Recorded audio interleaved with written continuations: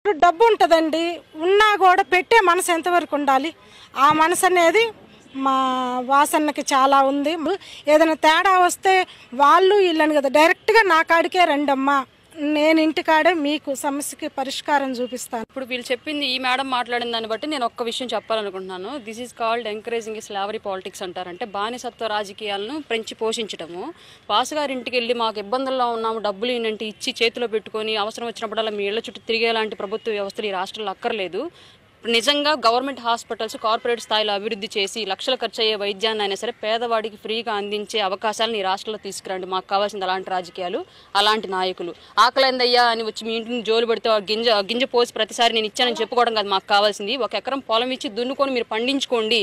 మీకు ఇచ్చినందుకు తిరిగి సుంకంగా నాకే మీ ఆదాయంలోంచి ఎంతో కొంత మాకు కట్టండి అని చెప్పే రాజకీయాలు మాకు ఈ రాష్ట్రంలో కావాలి కాబట్టి అట్లాంటి రాజకీయాలను ఇప్పుడు నేనైనా రేపు జనసేన అధికారంలోకి వచ్చినా మేము అలాంటి విధానాలను అవలంబించాలని కోరుకుంటున్నాము. టీడీపీ అధికారులు అధికారంలోకి వచ్చిన అదే రావాలి. వైసీపీ అధికారంలో ఉంది కాబట్టి అట్లాంటి విధానాలను ఈ రాష్ట్రంలో ఎంకరేజ్ చేయండి అని చెప్పేసి కోరుకుంటున్నానండి. అవసరం వచ్చినప్పుడు మీ ఏళ్ళ చుట్టూ తిప్పుకొని బానిసలాగా మీ చేతిలో పెట్టుకున్న రాజకీయాలు ఇంకా చేశారు ఇప్పుడు దాకా ఇప్పుడు ఇంక నుంచి చెయ్యొద్దు.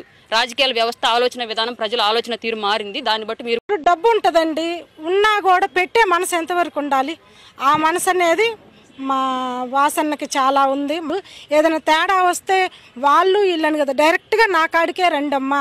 నేను ఇంటికాడే మీకు సమస్యకి పరిష్కారం చూపిస్తాను. ఇప్పుడు వీళ్ళు చెప్పింది ఈ మేడం మాట్లాడిన దాన్ని బట్టి నేను ఒక్క విషయం చెప్పాలనుకుంటున్నాను. This is called encouraging slavery politics అంటారంటే బానిసత్వ రాజకీయాలను పెంచి పోషించడము వాసు గారి ఇంటికి వెళ్ళి మాకు ఇబ్బందుల్లో ఉన్నాము డబ్బులు ఏంటంటే ఇచ్చి చేతిలో పెట్టుకొని అవసరం వచ్చినప్పుడల్లా మీ ఇళ్ళ చుట్టూ తిరిగేలాంటి ప్రభుత్వ వ్యవస్థలు ఈ రాష్ట్రంలో అక్కర్లేదు.